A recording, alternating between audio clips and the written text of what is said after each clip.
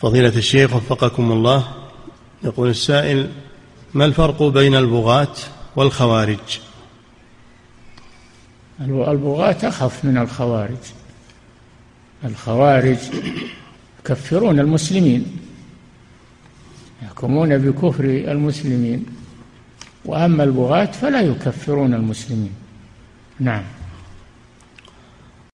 إعداد مشروع كبار العلماء بالكويت. أعزها الله بالتوحيد والسنة.